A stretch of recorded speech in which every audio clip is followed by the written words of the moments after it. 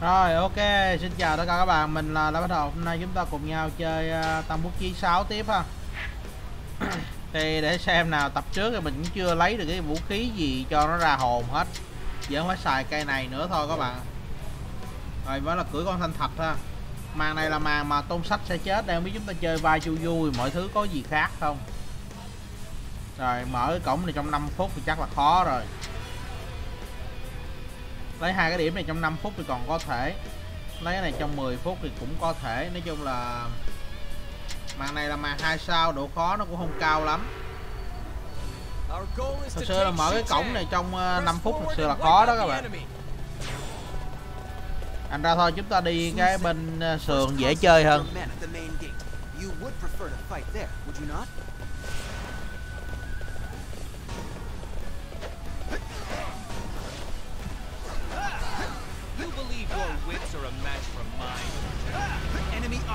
Này, nổ lửa này, trời.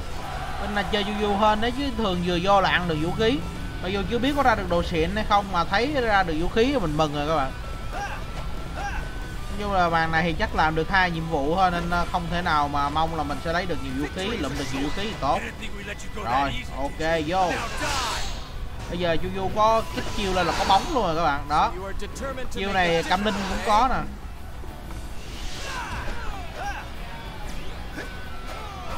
Cái bóng nó giúp tăng sát thương kinh lắm đấy nha các bạn. Đừng có đùa với nó.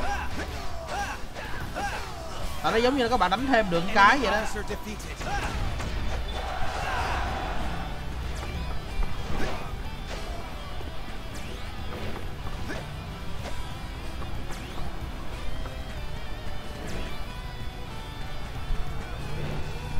Trời, con ngựa nó còn làm phiền mình nữa. À đây thằng cao cấp tên đây rồi ráng đập nó để lấy cái tung ta đập nó là đối phương xuống lính nhanh nhất. Ủa ngựa mình rồi. À đây. à, khỏi cần ăn máu. Máu mình còn nhiều.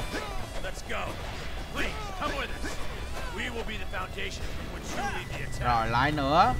Chu du đang ở đây mà cứ bài đặt đóng cửa là sao? Chu công cẩn ta là chuyên gia phá cửa mà. Rồi xong nhưng mà mấy đứa này chưa ngay ngay danh chu công cẩn các bạn ạ. Không trách. À, không trách được không trách được.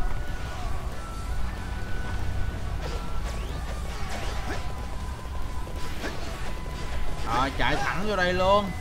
Chiếm thêm cái thành nữa mất mát gì đâu đúng không các bạn? Trời dám đánh luôn hả? À? ghê vậy.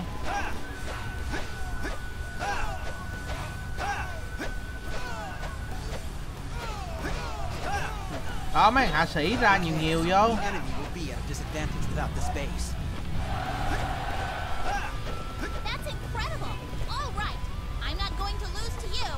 Rồi leo lên.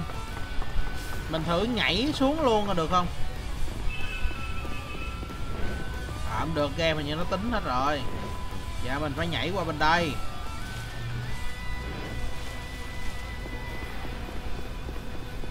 mình tính uh, nhảy qua bên kia cái vô cái này luôn mà không cho các bạn. Nó dưới cái tường rồi không được không được.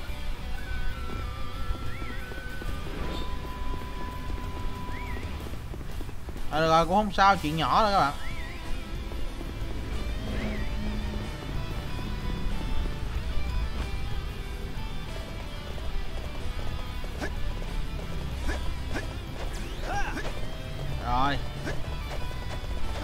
Phút lên chiếm thành cho lẹ nè. Đánh rồi dưới này sao cũng được.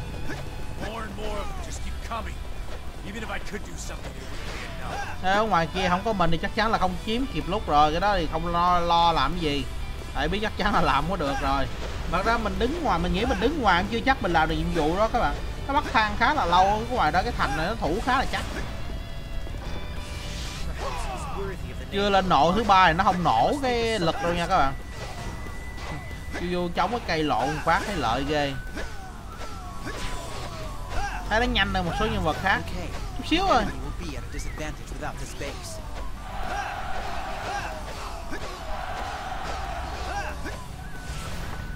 Rồi, Ok, nhiệm vụ đầu tiên đã thành. Giờ chạy ra chiếm mấy cái trại cung nè. À tàu hồng đây rồi. Cái này thì tàu hồng, ôi trời mình ủi hụt các bạn. Mà quýnh trúng mà chính vì quýnh. Rồi đây xong. Trời ơi. Rồi leo đây chơi trước. rồi mấy chú cho anh dạy việc cái.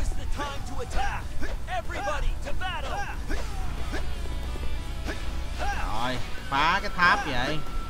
Vô vô vô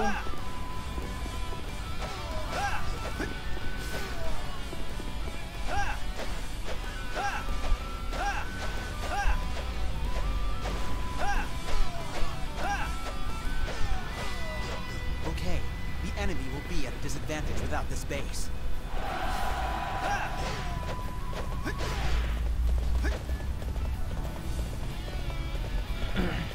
rồi chúng ta chiếm được hai cái trại nào. Ráng nếu mà được ráng chạy ra kia chiếm luôn. Nói chung là 10 phút thì chiếm bốn trại cung là dư sức.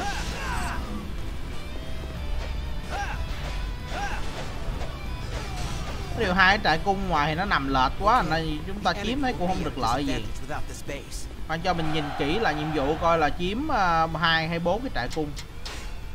Như bốn mới đủ. À bốn cái luôn các bạn tất cả trại cung luôn. Rồi ok cũng à, được thôi. Trại cung thì chiếm lẹ tại nó có mười mấy lính dữ à. Ra mấy trại kia vô đập hạ sĩ được cũng ngon. Rồi, ok, anh em đi trước đi. Tôi đi làm nhiệm vụ đã. Cái nhiệm vụ đầu làm cũng được rồi. Thôi, nhưng mà mấy nhiệm vụ sau ráng làm còn lấy đồ chứ. Mấy này để xa quá. Không có hỗ trợ bắn được. Hai cái tháp nằm xa nhau về thì cũng không phải là thượng sách đâu các bạn. Tại vì lúc này tầm hỏa lực nó sẽ rất là bị phân tán mà rất là khó hỗ trợ nhau luôn khi cần. Đó các bạn thấy cây tầm đánh nó lợi không? Mình có thể dùng cây tốc độ cũng có thể dùng cây sức mạnh nhưng mà không mình quyết định là xài cây tầm đánh là tại như vậy á. Những lúc các bạn cần quét nó rất là, là rất là lợi. Nãy giờ chắc mới xây máy bắn đá xong rồi sắp ủi được cái cửa rồi. Nhưng mà 7 phút mấy rồi các bạn. Đúng là mình phải đứng đó thì cái cửa này mới mau mở được. À, còn một cửa nữa. như là màn này không thèm đột kích mà chạy thẳng vô bằng đường kia luôn càng ngon nhưng mà game nó không cho chúng ta ờ, phe chính diện đó rồi lực lượng chính của chúng ta chạy của đó chỉ có lực lượng đột kích là chạy đường bên sườn thôi. Nói chung là mình thân làm tướng nhưng mà không có được chỉ đạo lính các bạn. Nó đi theo một cái lộ trình được sắp xếp sẵn. Mà chúng ta làm tướng mà chắc là chúng ta giống như quân tinh nhuệ vậy đó, đi càng không à. Bản thân mình không có một người lính nào dưới trướng luôn nhé. mang tiếng là chu đô đốc của đông ngô mà dưới trướng là không có tư lính nào cả. Bản thân còn không điều khiển được cả vợ mình mà nếu mà có tiểu kiều thì tiểu kiều cũng tự đánh thôi chứ chả phải nghe mình nữa your reputation. Such a display will boost the morale of our troops. Rồi vô, có nhiều tướng vô đây chơi hết. Enemy officer defeated.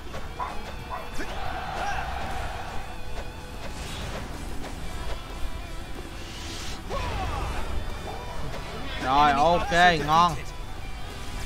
Tất cả tướng đã bị ờ, đánh bại. Mình mình cũng chiếm được trại cung rồi các bạn. Thành ra là chúng ta sẽ nhanh chóng mà ờ, đạt được thang này làm ờ, đồ phá tường thôi phá cửa thôi. Tại vì đơn giản là nó không còn sức để mà nó phản phản kháng nữa. Hai cái trại cung của mình rồi nó còn bị chính mấy cái trại cung nó bắn xuống mà. Chà quốc không không đủ rộng các bạn.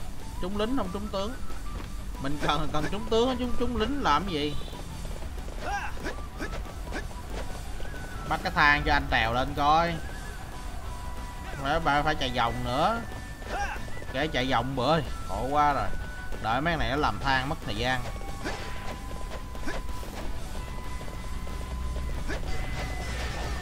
Ủi luôn. Rồi lại đóng cửa, biết anh là chưa chưa du không? Tứ tốc độ không? Chú đóng cửa thì cái cửa này anh phá cũng nhanh thôi. Chẳng qua là anh chưa mắc nộ anh chưa phá lẹ được.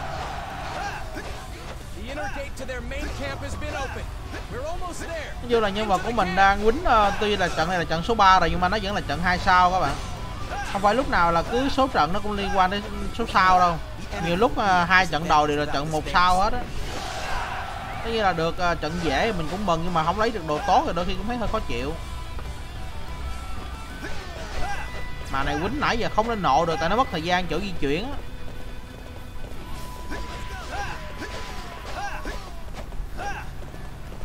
Trời còn lo phá cổng chính nữa, đây có đường đi rồi, mấy ông ơi.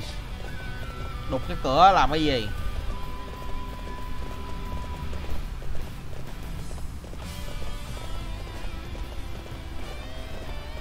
Rồi, nói chung đây là một trong những cuộc giao tranh đầu tiên giữa quân ngụy và quân ngô thì lúc này à, lãnh thổ mà, nói chung là các quần hùng đánh giết lẫn nhau thôi, làm gì có cái luật nào đâu. Nói chung là được cái ờ, là danh thiên tử mà thiên tử này cũng chỉ là buồn nhìn thôi. Ai thắng thì phong cấp đất đai cho người đó, vậy coi như là hợp thức hóa. Rồi, vô. Tú là tàu chân nữa này thì đùa với chu du rồi, đây, trần gì cũng vô đây.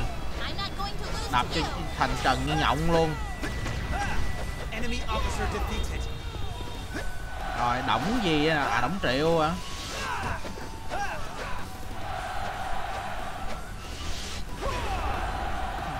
Rồi, ok, xong. Lượm ống.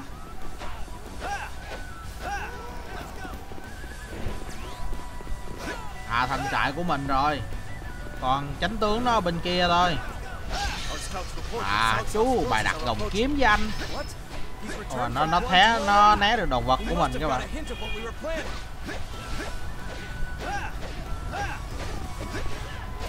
Kích chiêu lên chơi giờ không xài được nữa rồi thì cứ xài kiểu này. Nó cũng bút ra được sát thương các bạn tại chúng ta đang đánh liên tục mà. Rồi xong. Ồ, toàn lấy được kinh nghiệm mà hơi dở nha. Ở kệ màn này màn số 2 thì cũng ờ, không ham mấy cái món vũ khí lắm tại cũng chả Pretty xịn.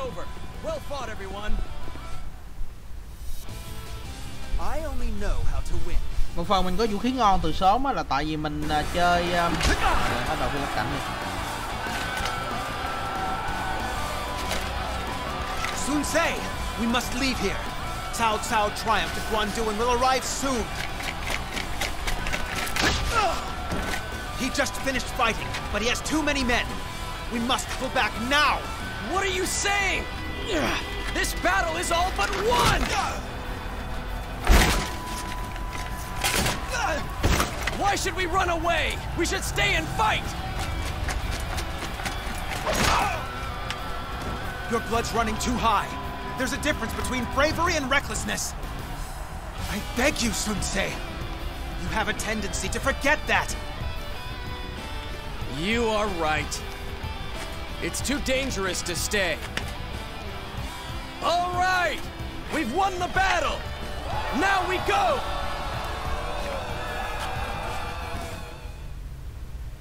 rồi ok thôi mừng quá trong ờ, chiến dịch trong vũ trụ của chu du thì à, uh, tôn sách không chết các bạn một phần là mình lấy được vũ khí xịn các bạn biết là sao không tại vì lúc mà mình luyện á là mình luyện bằng chế độ easy mà ở mức 4 sao các bạn hình ra nó ra đường, nó ra đồ rồi tương đối ổn một chút. Rồi 76 mà dày thì hơi bèo nha. 64 mà 64 thì bèo quá, không được. Cây này quá bèo. 72 mà có bơ sọt hả? Rồi, thôi cũng được đi. Rồi, lấy được mấy món này cũng tập tập tại vì màn hai sao ở chế độ khó thì cũng chỉ bằng bằng 4 sao chế độ dễ thôi. Rồi ok cảm ơn các bạn đã ủng hộ video của mình ha. Cái đoạn phim hồi nãy thì mình giải thích sơ một chút. Đó là mặc dù là quân ta đang thắng nhưng mà theo như tin tình báo báo về á, là tào tháo đã đại thắng ở quan độ. Nói chung trong trận này là quân ngô nó lợi dụng lúc mà tào tháo đang giao tranh với quân uh, quân thiệu ở quan độ á thì nó tranh thủ nó đi lấn đất của tào tháo. Lúc này quân tào tháo thì thôi chỉ có cái lực lượng mà uh, đồn trú mà nó yếu đuối nó nó đóng giữ cái mặt biên giới với đồng ngô thôi thành ra là tôn sách tính nhân cơ hội đó để tấn công nhưng mà nói chung là khi mà nghe tin quân tàu sắp quay trở lại với lực lượng đông và mạnh á, thì chu du biết là không thể giữ nổi thì ở đây quá nguy hiểm cho nên là yêu cầu tôn sách phải rút tôn sách ban đầu là lằng nhằng không chịu nhưng mà khi mà nghe chu du thuyết phục quá thì à, ông ta chấp nhận rút lui Rồi thì ok, nói chung nội dung tập này là như vậy rồi. Cảm ơn các bạn đã theo dõi video của mình ha. Bye bye.